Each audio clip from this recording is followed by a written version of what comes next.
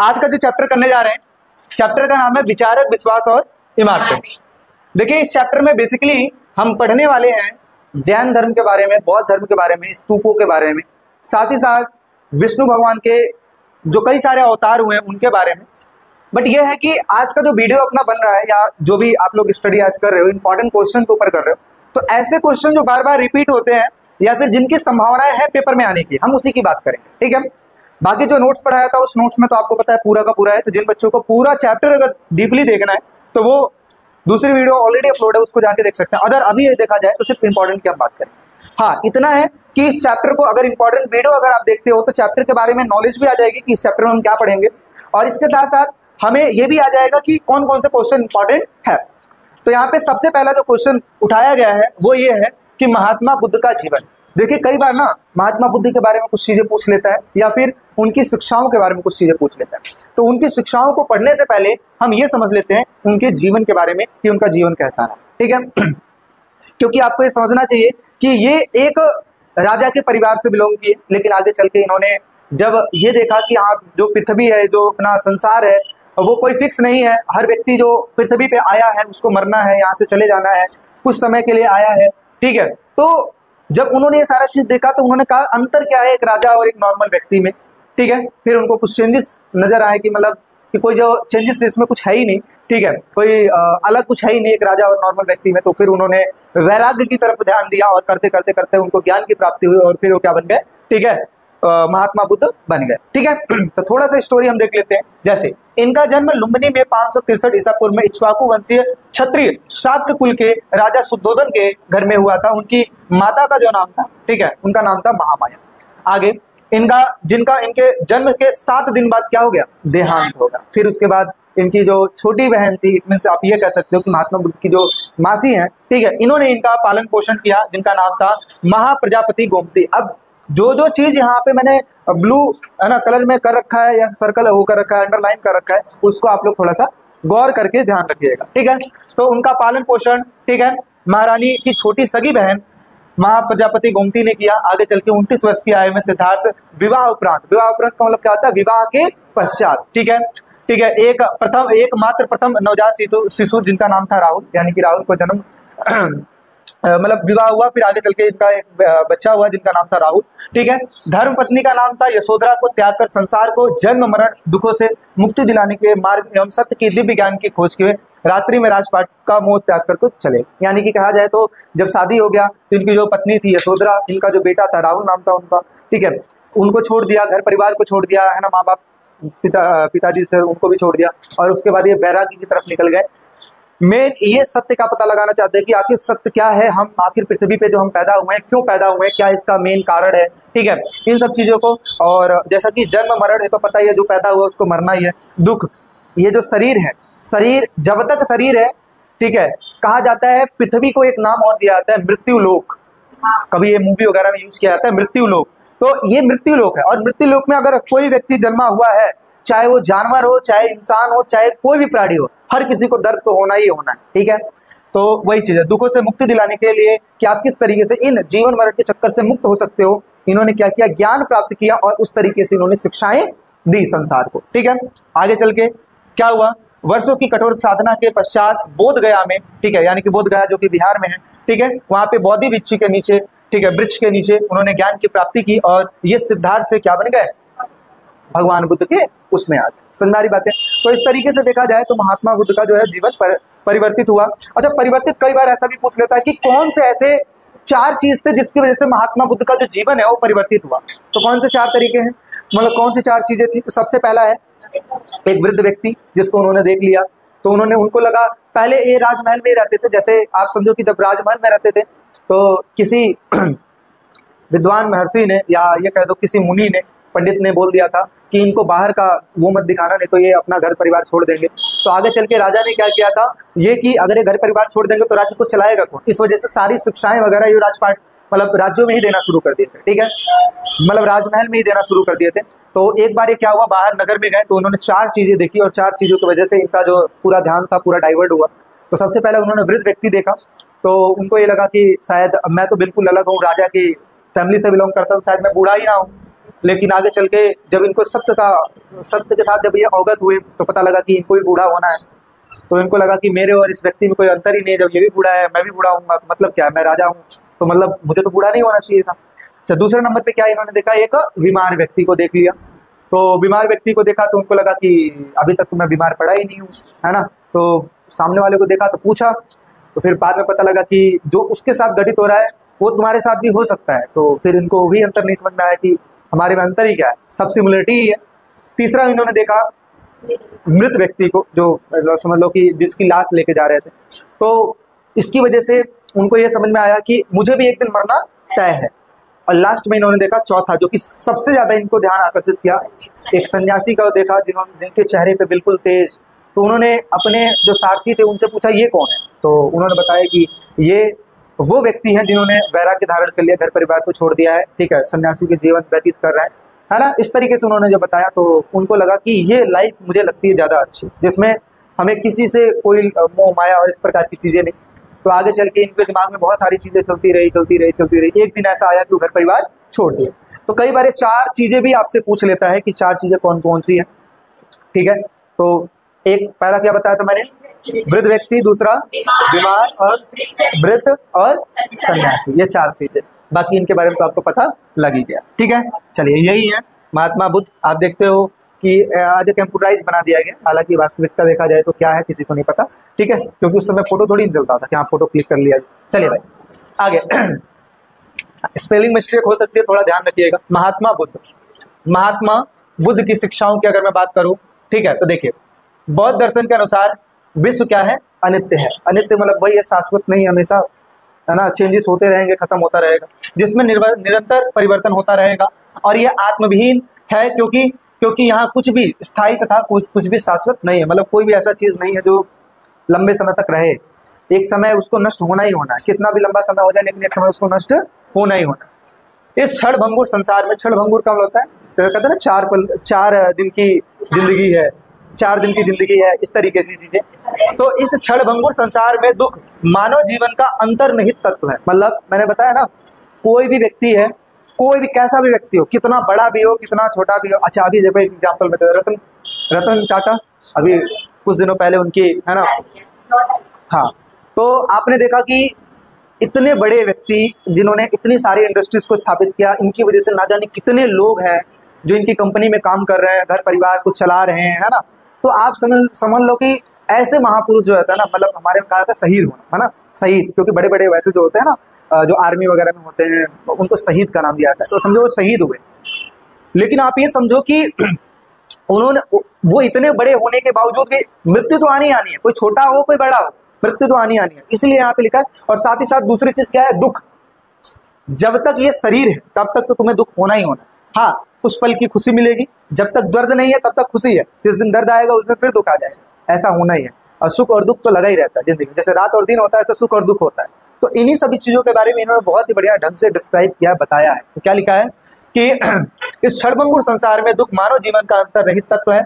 बुद्ध ने बताया कि घोर तपस्या तथा विषय शक्ति के बीच मध्यम मार्ग अपनाकर जो मानव है ना, विश्व के दुखों से मुक्ति प्राप्त कर सकते हैं। अब जैसे होता नहीं ये क्वेश्चन की जब संसार में दुखी है तो हम मुक्त कैसे हो सकते हैं? आखिर इस दुखों का निवारण कैसे है?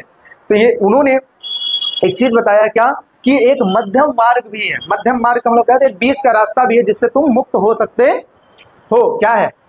बुद्ध का विश्वास था कि समाज का निर्माण इंसानों ने किया है, ना कि भगवान। आज आप देखते हो, कोई बड़ा, कोई छोटा, कोई ऐसा कोई ऐसा। किसने बनाया? ये भगवान ने थोड़ी नहीं किया। ये तो आप लोगों की रचना है है ना? आगे। इसलिए उन्होंने राजाओं तथा गृहपतियों का दयावान तथा आचारवान होने को सलाह दिया कि भाई आज तुम इतने बड़े हो तो ये मत समझो कि मैं ही सहनसा हूँ यहाँ का। नहीं, सब आज आए हो, कल जाना है। इसलिए हमें दूसरों के प्रति भावनाएँ अच्छी रखनी चाहिए। आगे, बुद्ध ने जन्म मृत्यु के चक्र से आज़ादी, आत्मज्ञान तथा है ना, निर्माण के लिए सम्यक कर्म की कल्पना की है। यानी कि इन्होंने जो ज़ोर दिया है, किस पे दिया है? कर्म के ऊपर। कि भाई आपका जो कर्म है, जो कार्य है, ये बहुत ही ज़्यादा मैटर करता है कि आपका जीवन किस तरीके का होएगा। आगे, निर्वाण का अर्थ है अहम। निर्वाण का अर्थ है अहम और इच्छा का समाप्त हो जाना। निर्वाण का मतलब क्या होता है? एक जैसे कहते हैं ना कि आ, हर व्यक्ति ज़िंदा है इच्छा के लिए। हर व्यक्ति ज़िंदा है इच्छा के जैसे क्या इच्छा है? जैसे मान लो कुछ समय पहले हमारे पास डिजिटल बोर्ड नहीं था तो हमारी इच्छा थी कि डिजिटल बोर्ड आ जाए। आज डिजिटल बोर्ड आ गया तो हम सोचते हैं कि कल की डेट में एक कैमरा आ जाए। कैमरा आ जाएगा तो कल की डेट में हम सोचेंगे कि कुछ और चीज़ें करना है। मतलब व्यक्ति इच्छा से क्या है? जुड़ा रहे। अच्छा अगर इच्छा खत्म हो जाए और दूसरा अहम ये तो मेरा है। अहम। अहम जो है अगर वो खत्म हो जाए ना तो समझ लो कि इंसान बहुत आगे जा सकता है। तो इन्होंने बताया कि निर्वाण का अर्थ होता है, जो कहते हैं ना, निर्वाण की प्राप्ति हो गई। तो मतलब व्यक्ति जब मर जाता है तो इच्छाएँ खत्म हो जाती है, ज़िंदा है तो तब तक इच्छा है। लेकिन ऐसा भी नहीं है कि मरने के बावजूद भी इच्छाएँ होती हैं इंसान की, कि भाई मैंने जो नहीं किया या जो मैंने किया है नेक्स्ट क्या करना चाहिए? ठीक है? जैसे कई बार ऐसा होता नहीं कि किसी को एहसास होता है कि हम हम तो ज़िंदगी अपनी ऐसी व्यर्थ कर दी अगला जन्म होगा तो हम ऐसे करेंगे, ऐसी इच्छा।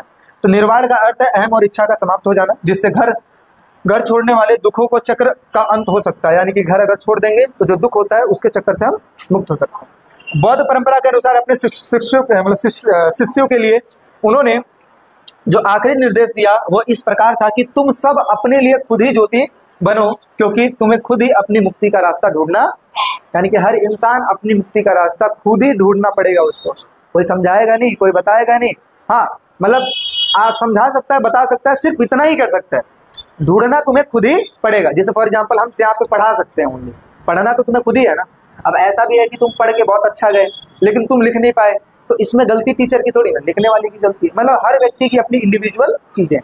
तो वही चीज़ें हैं, महात्मा बुद्ध की ये शिक्षाएँ हैं, जिसमें इन्होंने बहुत सी चीज़ें बताई हैं कि किस तरीके से हम ये जो कर्मों के चक्कर से, जो जीवन मरण के चक्कर से हम किस तरीके से मुक्त हो सकते हैं, ये सारी बातें उन्होंने रखी। ठीक है? तो इसको याद करके रखिएगा। अब सेम ऐसा ही आता है जैन धर्म के बारे में जिसमें हम पढ़ते हैं महावीर स्वामी के बारे में। इनकी भी कुछ स्टोरी वैसी ही। घर परिवार छोड़ के निकल गए और फिर उसके बाद इन्होंने, है ना चीज़ किया। तो जैन धर्म की महत्वपूर्ण शिक्षाओं का संक्षेप में वर्णन दिए संक्षेप का मतलब होता है छोटा। क्या होता है? छोटा। जैन धर्म की शिक्षाएँ। इन्होंने सबसे पहले कुछ बातें रखी, जैसे सबसे पहले इन्होंने रखा है अहिंसा। अहिंसा, कर्म तथा मोक्ष का सिद्धांत, त्रिरत्न, कठोर तप और पाँच महाग्रह कई बार जैन धर्म की शिक्षाएँ दे देते हैं क्वेश्चन में तो बच्चे ये लिख के चले आते हैं, ये वाला लास्ट वाला, है ना? कि अहिंसा, सत्य, अस्ते, ये सब चीज़ लिख के चले आते हैं, ठीक है? तो आपको ये समझना है कि ये हमें नहीं लिखना है, अभी पूरा की पूरी चीज़ लिखनी है। सबसे पहला चीज़ क्या? है अहिंसा। अहिंसा का मतलब क्या होता है कि हमें लड़ाई झगड़ा नहीं करना। मतलब कोई भी ऐसी चीज़ जिस, जिसकी वजह से हम दूसरों को हानि पहुंचाते हैं, वो हमें नहीं करना, ठीक है? तो क्या लिखा है? सभी जीवों के प्रति अहिंसा के सिद्धांत को अपनाने की शिक्षा पर जैन धर्म ने विशेष ज़ोर दिया है। जानवरों इंसानों जानवरों पेड़ पौधों और कीड़े मकोड़ों को न मारना जैसे जैन धर्म का केंद्र बिंदु है। इनका मानना है कि हर एक चीज़ में ठीक है हर चीज़ में क्या है एक प्रकार का जीव है ठीक है हर किसी के अंदर प्राण है तो हमें कुछ इस तरीके की चीज़ें नहीं करनी चाहिए जिसकी वजह से दूसरे का अहित हो। अगला है कर्म तथा मोक्ष का सिद्धांत। इसमें क्या है जैन मान्यता के अनुसार जन्म और मृत्यु जन्म और पुनर्जन्म का चक्र से मुक्ति के लिए त्याग तथा तपस्या की ज़रूरत होती है। त्याग मतलब त्याग का मतलब क्या होता है? किसी भी चीज़ को छोड़ना। अब क्या छोड़ना? जैसे आ, आपको अच्छा नंबर लाना है तो आपको अभी इस समय अपने हाँ फ़ोन चलाने को त्याग देना है निद्रा को त्याग देना है आलस्य को त्याग देना है अपने अभी इस सुख को त्याग देना है ये क्या है? त्यागना। अगर आप कोई व्यक्ति कितना ऊपर जाता है ये उसके त्याग पर डिपेंड करता है कि उसने त्यागा क्या है। घर परिवार छोड़ना आसान होता है। हम कह देते हैं कि घर परिवार छोड़ के वहाँ पे चले गए उन्होंने ज्ञान की प्राप्ति कर ली। तो सबसे पहला टास्क क्या है? घर परिवार को छोड़ना। ना जाने कितने आ, कितने बार सोचना पड़ जाता है कि किस तरीके से हम छोड़ें किस तरीके से घर परिवार का ऋण अदा करें। परिवार ने तो बहुत कुछ दिया है ना। अब हम ऐसा थोड़ी ना कि ज्ञान हुआ घर छोड़ के चले गए। ऐसा थोड़ी ना होता है। समझ बात है? तो बहुत सी रिस्पॉन्सिबिलिटी होती है जिसको निभा के हाँ अब चाहो इस तरीके से। तो बहुत सी चीज़ें तो इनका मेन कहना है कि त्याग तथा जो व्यक्ति त्याग कर सकता है दूसरे नंबर पे तपस्या कर सकता है ठीक है? तो आगे क्या होगा? आ, ये सब चीज़ें किससे संभव हो सकती है? अगर हम संसार को त्याग देंगे तो ही ये हो सकता है कि हम मोक्ष की प्राप्ति कर सकते हैं। आगे अतः मुक्ति के लिए बिहारों से बिहारों में निवास करना एक अनिवार्य नियम था। बिहार क्या है? बिहार वो जगह है जहाँ पे लोग निवास करते थे मतलब घर परिवार छोड़ दिया अब जहाँ पे रहना शुरू किया उनको बिहार कहा जाता है। त्रिरत्न की बात करते हैं तो जैन धर्म के अनुसार मनुष्य के जीवन का लक्ष्य क्या होना चाहिए? मोक्ष होना चाहिए। क्या होना चाहिए? लेकिन हमारा लक्ष्य क्या है? हमारा लक्ष्य है अच्छी लाइफ स्टाइल जीना। जैसे अच्छा पढ़ लिए अच्छा रोज़गार होना चाहिए। अच्छा रोज़गार जब हो गया तो उसके बाद क्या होना चाहिए? उसके बाद हमारे पास गाड़ी होना चाहिए। उसके बाद हमारे पास सुविधाएँ होनी चाहिए। है ना? दो चार घर तो होना ही चाहिए। है ना? दो चार घर के अलावा तो मज़ा आएगा नहीं। तो सारा चीज़। ठीक है? लेकिन इनका मेन मेन शिक्षा ये इन्होंने दिया कि भाई मनुष्य जीवन अगर मिला है तो मेन लक्ष्य क्या होना चाहिए? मोक्ष की प्राप्ति। आगे, इससे प्राप्त करने के लिए त्रिरत्न का पालन बहुत ज़्यादा ज़रूरी है। जैसे सम्यक ज्ञान ज्ञान होने की ज़रूरत है। दर्शन होना चाहिए कि किसी भी चीज़ को देखने का नज़रिया। और लास्ट में क्या है? चरित्र। देखो, चरित्रवान होना बहुत ज़्यादा ज़रूरी है। एक अच्छा चरित्र ही, एक अच्छा चरित्र है, अगर किसी व्यक्ति का, किसी इंसान का चरित्र अच्छा होने की वजह से उसका जो ज्ञान है ना, वो भी बहुत शुद्ध होगा चरित्र अगर सही नहीं है तो उसका ज्ञान भी शुद्ध नहीं हो सकता। आगे बढ़ते हैं कठोर तप। महावीर स्वामी ने कठोर तपस्या के द्वारा मोक्ष की प्राप्ति का मार्ग बताया है। मोक्ष की प्राप्ति तभी हो सकती है जब मनुष्य सभी वस्तुओं का त्याग करके चिंतन तथा मनन करे। चिंतन और मनन का मतलब क्या होता है? चिंता नहीं, वो नहीं टेंशन में आने गया। ऐसा नहीं, चिंता का मतलब होता है जो मेन चीज़ है, जो जिसको तुम्हें प्राप्त करना है किस किस तरीके से तुम्हें प्राप्त कर सकते हो, उसकी चिंता करो कि हाँ भाई, हमें मोक्ष की प्राप्ति करनी है तो हमें इसके लिए क्या करना पड़ेगा? अच्छा ये करना पड़ेगा। ठीक है, वो करो। मतलब लक्ष्य अपना क्या रखो अपना? मोक्ष। और उस मोक्ष के लिए तुम जो प्रयास कर रहे हो, उसके प्रति तुम चिंतन और मनन करो। ठीक है? आगे। तपस्या और संयम से भी आत्मा को मुक्ति मिल सकती है। संयम का मतलब होता है पेशेंस और तपस्या का मतलब होता है हार्ड वर्क मतलब जिस तरीके से आप करते हैं। और इनके पाँच महान व्रत हैं, जैन धर्म के पाँच महान व्रत, ठीक है? कौन कौन से? अहिंसा, सत्य अस्तय ठीक है, अपरिग्रह तथा ब्रह्मचर्य, ठीक है? अस्ते ये सेम ऐसे चीज़ याद कर लेना मतलब वही अहिंसा ना करना, सत्य बोलना हमेशा, चोरी ना करना, ठीक है? गृह त्याग हो गया इसमें, तथा इसके अलावा ब्रह्मचर्य का पालन करना, ये सारा चीज़ इसमें शामिल हो जाता है। समझ में आ रही बात? चलिए भाई नेक्स्ट बात कर लेते हैं, अगला समझते हैं। ये भाई, आज का प्रश्न है, आज का प्रश्न आप लोग देख लीजिए क्या है, महात्मा बुद्ध का जन्म। ये तो याद ही होगा। महात्मा बुद्ध का जन्म कब हुआ? कब नहीं, कहाँ हुआ? लुम्बिनी में। कहा हुआ था? बुद्ध को ज्ञान की प्राप्ति कहाँ हुई? बोध गया। बुद्ध गया कहाँ है?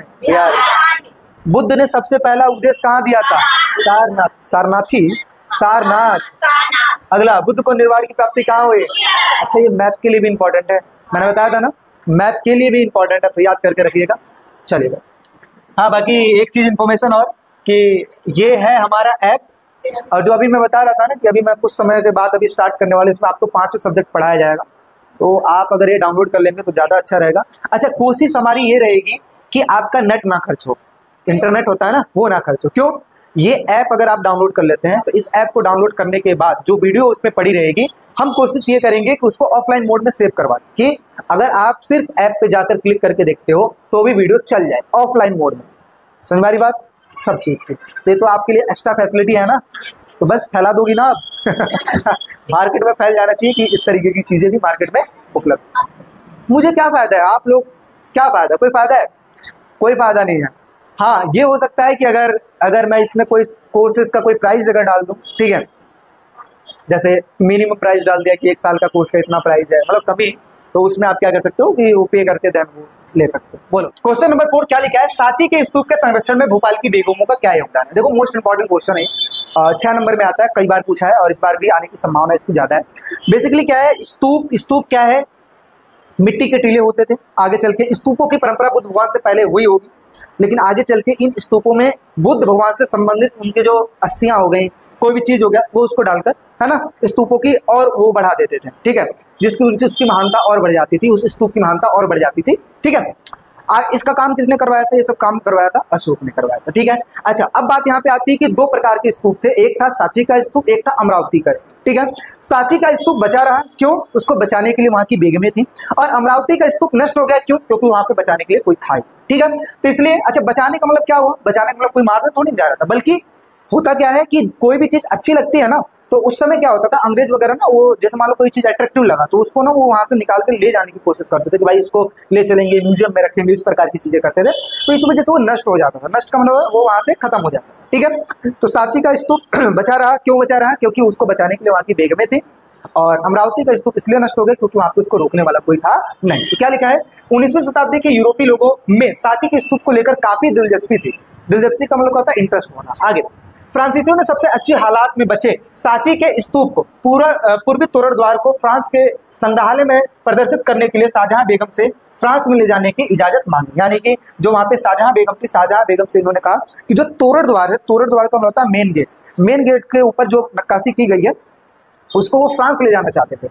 लेकिन लेकिन यहाँ जो शाहजहां बेगम है, शाहजहां बेगम ने बहुत ही सूझबूझ से इसका पीओपी का बनवा के दे दिया। एज इट इज़ वही लगता था और उसको बनवा के दे दिया। ठीक है? आगे। फिर सांची की बेगमों ने बड़ी ही सावधानी पूर्वक पीओपी से बनी तोरण की प्राकृतिक क्यों से संतुष्ट कर दिया? ठीक है प्रति, प्रतिकृतियों से संतुष्ट कर दिया। आगे दूसरा लिखा है भोपाल के शासकों जैसे शाहजहां बेगम और उसके उत्तराधिकारी सुल्तान जहाँ बेगम ने इस प्राचीन स्थल के रख रखाव के लिए क्या दिया? धन दिया। धन अनुदान दिया मतलब पैसा ठीक है? सांची के स्तूप के संरक्षण में भोपाल की बेगमों का बहुत ही ज़्यादा सहयोग रहा है और यही कारण है जिसकी वजह से जॉन मार्शल ने सांची पर लिखे अपने महत्वपूर्ण जो ग्रंथ है, उनको सुल्तान जहाँ बेगम को दे दिया। ठीक है? आगे। सुल्तान जहाँ ने वहाँ पे एक संग्रहालय तथा एक अतिथिशाला बनवाने के लिए अनुदान दिया अनुदान दिया मतलब पैसा दिया, और वहाँ रहते हुए जॉन मार्शल ने उपयुक्त पुस्तकें लिखी थी। इस प्रकार से विभिन्न खंडों के प्रकाशन में भी सुल्तान जहाँ बेगम ने अनुदान दिया था। और इसलिए यदि यह स्तूप समूह बना रहा तो इसके पीछे कुछ विवेकपूर्ण निर्णय है और ये चीज़, ठीक है? तो सबसे पहले शाहजहां शाहजहां बेगम की जो बेटी है, उनका नाम है सुल्तान जहाँ बेगम, ठीक है? और इन्होंने क्या किया था? सांची को बचाए रखने में बहुत ज़्यादा योगदान दिया था। समझ बात। चलिए भाई। अब थोड़ा सा और आगे बढ़ लेते हैं। अगला क्वेश्चन ये देखिए, इसी तोरण द्वार की बात कर रहे थे। जो देखिए, कितना बढ़िया है ना? किस तरीके से तोरण द्वार आप देख सकते हो, कितना बढ़िया इसमें डिज़ाइनिंग किया गया है। तो इसी तोरण द्वार की बात चल रही है, ठीक है? आप समझते हैं स्तूप क्यों और कैसे बनाए जाते थे। क्यों का मतलब होता है, किस लिए बनाए जाते थे और कैसे का मतलब होता है, किसके द्वारा दिए गए दान से बनाए जाते थे। तो ध्यान से देखिएगा स्तूप बनाने की परंपरा बुद्ध से पहले ही रही होगी, लेकिन वह बौद्ध धर्म से जुड़ गई, ठीक है? यानी कि बुद्ध भगवान से पहले स्तूप बनाने की परंपरा रही होगी, लेकिन आगे चल के धीरे धीरे बौद्ध धर्म से जोड़ दिया गया, ठीक है? स्तूपों में ऐसे अवशेष रखे जाते थे, ठीक है? रहते थे जिन्हें पवित्र समझा जाता था, अतः समूचे स्तूप को ही बुद्ध और बुद्ध धर्म के प्रतीक के रूप में प्रतिष्ठा मिली। प्रतिष्ठा का मतलब क्या था इज़्ज़त मिलना, ठीक है? सम्मान मिलना। अशोक बदाम नामक एक बौद्ध ग्रंथ के अनुसार, अशोक ने बुद्ध के अवशेषों के हिस्से हर महत्वपूर्ण शहर में बांटकर उनके ऊपर स्तूप बनाने का आदेश दे दिया था। आगे। ईसा पूर्व दूसरी शताब्दी तक भरहूप हो गया जगह। ठीक है, सांची, सारनाथ जैसे जगहों पर, ठीक है, स्तूप बनाया गया यानी कि जो भी ऐसा जगह जो महात्मा बुद्ध से रिलेटेड हो, वहाँ पे इन्होंने क्या किया? स्तूप बनाने का काम कर दिया। स्तूपों को वेदिकाओं तथा स्तंभों पर मिले अभिलेखों से उन्हें, इन्हें बनाने और सजाने के लिए दिए गए दान का पता चलता है। कुछ दान राजाओं के द्वारा दिए जाते थे और कुछ सातवाहन वंशों के राजाओं के द्वारा। अब यहाँ पे समझिए। यहाँ से ऊपर आपने पढ़ा कि किस लिए बनाए जाते थे। अब इसके नीचे आप ये समझिए कि आखिर कैसे बनाए जाते थे। कैसे बनाए जाते थे? मतलब किसके सहयोग के द्वारा बनाए जाते थे। तो स्तूप को बनाए रखने के लिए मतलब ये यानी कि स्तूप को बनाए, बनाने के लिए, उसके तोरण द्वार को बनाने के लिए, उसमें डिज़ाइनिंग करने के लिए कई सारे लोगों ने दान दिया था। किसने किसने दान दिया था? तो यहाँ पे देखिए, कुछ वेदिकाओं से पता लगता है, कुछ इसके स्तंभों, यानी कि इस पे जो स्टोरी लिखी हुई है ना ये चित्रों के माध्यम से स्टोरी समझाई जाती है, उस पर कुछ चीज़ें बनी हुई हैं। इससे ये पता लगता है कि बहुत सारे लोगों ने क्या किया है? दान दिया है। जैसे कुछ दान किसने दिया है? राजाओं ने दिया है। ठीक है? कुछ सात वंश सातवाहन वंश के राजाओं ने दिया है। कुल्फ शिल्पकारों ने दिया है। कुछ नॉर्मल व्यक्तियों ने दिया है। तो ये सब सबके सहयोग से। जैसे कहा जाता है कि मंदिर का जो निर्माण है, सबके सहयोग के द्वारा होता है। उसी प्रकार से ऐसी चीज़ों का भी निर्माण सबके सहयोग के द्वारा ही होता है। स्तूपों को बनाने के लिए कुछ दान शिल्पकारों के द्वारा, कुछ व्यापारियों की श्रेणियों के द्वारा दिया गया था। अच्छा श्रेणी किसे कहा जाता था? व्यापारियों के, समूह को श्रेणी कहा जाता है। ठीक है? उदाहरण के लिए सांची के एक तोरण द्वार का हिस्सा हाथी दांत का काम करने वाले शिल्पकार के दान के द्वारा बनाया गया है। यानी कि ये जो तोरण द्वार है, उसका एक हिस्सा जो है, एक व्यक्ति जो कि हाथी दांत दांत का काम करता था उससे कुछ डिज़ाइनिंग वगैरह बनाने का काम करता था। ऐसे व्यक्ति ने क्या किया था? दान दिया था, जिसके द्वारा इस चीज़ का निर्माण किया गया था। सैकड़ों महिलाओं तथा पुरुषों ने दान के अभिलेखों में अपना नाम बताया है। कभी कभी वे अपने नगर या गाँव का नाम भी बताते हैं और कभी कभी वे अपने पेशे तथा रिश्तेदार का नाम भी उसमें बताते हैं। यानी कि जिसने भी दान दिया उसके बारे में वो लिखवाते हैं। आगे इन स्तूपों को बनाए बनाने में बिच्छू और बिच्छुनों ने बहुत ज़्यादा योगदान दिया है। बिच्छू और बिकुनी कौन? ऐसे लोग जो घर परिवार को छोड़ दिया और जो पैसा वैसा है वो उठा के दान दे दिया भैया ये चीज़। जैसे आपने देखा कि बहुत सारे मंदिर बनवाने के लिए कई लोग जो है ना अपना घर घर घर हो गया, जो उनके पास संपत्ति होती है, उसको बेचकर दान दे देते हैं। ठीक है? ऐसा भी बहुत से लोग होते हैं। ठीक है? तो इस तरीके से पांचवा अपना ये हो गया। आगे बढ़ते हैं। यहाँ पे देखिए। हाँ।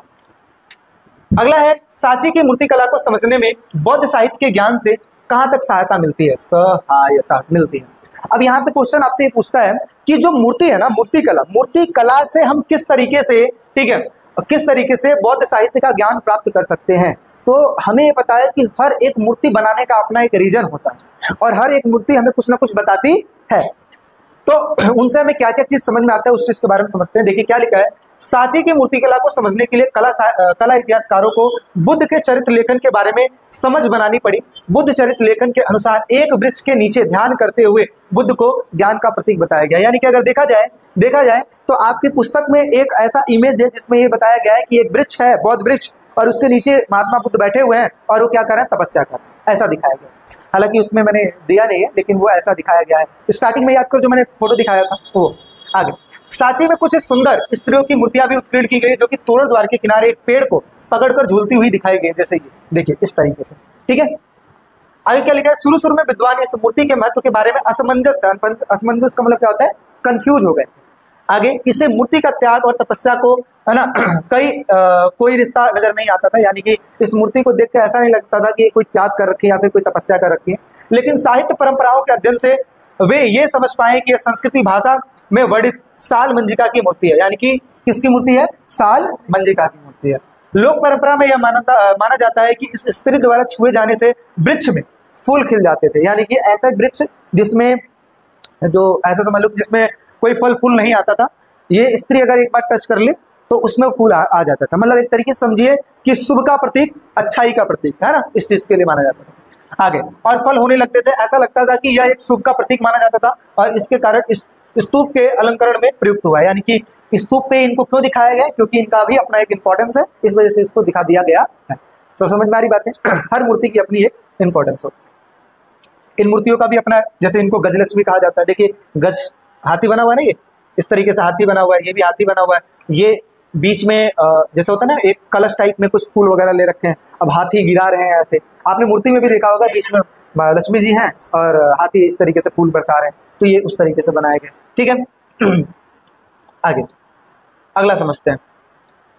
ये देखिए सांप के बारे में दिखाया गया, सांची में एक सर्प। ठीक है? अच्छा सांची में जातकों से ली गई जानवरों की कहानियाँ, ऐसा लगता है कि यहाँ पर लोगों को आकर्षित करने के लिए जानवरों को उत्कृष्ट किया गया।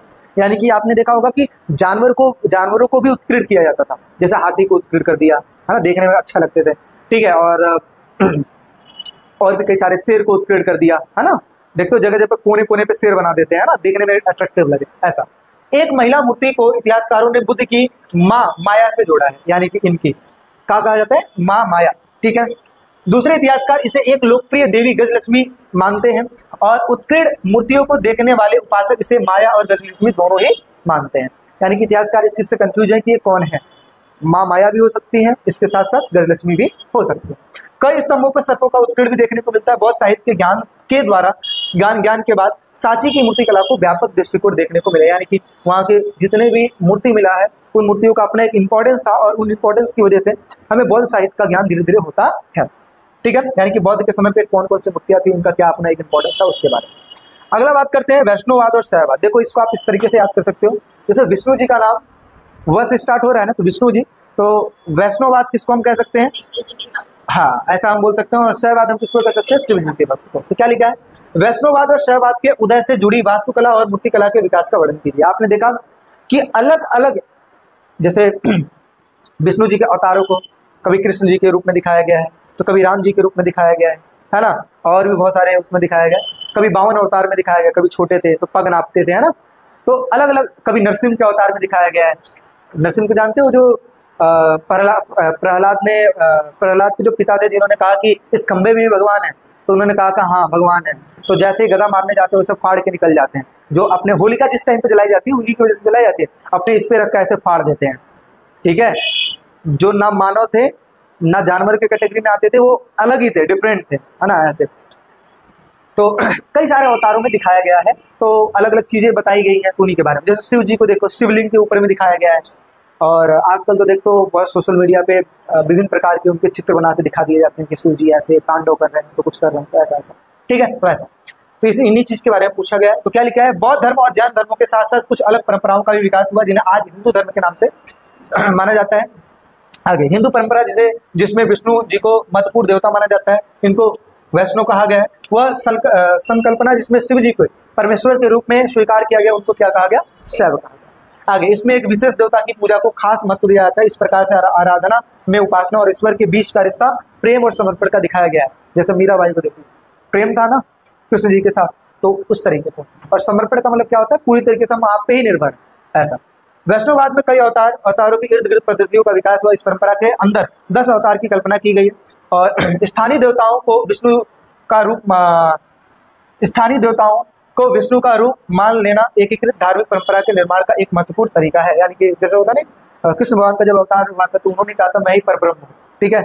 यानी कि मैं ही वो मतलब अपना एक स्वरूप उन्होंने जो दिखाया था, उसकी बात की जा रही है। आगे। कई अवतारों को मूर्तियों के रूप में दिखाया गया है, दूसरे देवताओं की मूर्तियाँ बनी हुई हैं। शिव जी को उनके प्रतीक लिंग के रूप में दिखाया गया ठीक है, जैसे शिवलिंग की पूजा होती है। आगे। लेकिन कई बार मनुष्य के रूप में भी दिखाया गया है। आगे। मैक्सिमम जगहों पर अगर आप जाओगे वैसी जगह पे तो वहाँ पे शिवलिंग ही देखने को मिलेगा। लेकिन नए नए जहाँ मूर्तियाँ बना दी जाती हैं तो वहाँ पे देखते हो शिव, पार्वती जी और इस तरीके से बना दिया जाता है। ठीक है? आगे। ऐसे ऐसे सारे चित्रण देवताओं से जुड़ी हुई मिश्रित अवधारणाओं पर आधारित है। उनकी खूबियाँ, उनके प्रतीक, उनके सिरो, वस्त्र, आभूषण, ठीक है?